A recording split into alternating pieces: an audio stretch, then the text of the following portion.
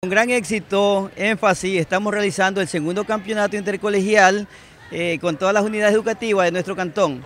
Eh, éxito a los estudiantes que se esfuercen porque el deporte es lo mejor y es saludable para cada uno de los seres humanos.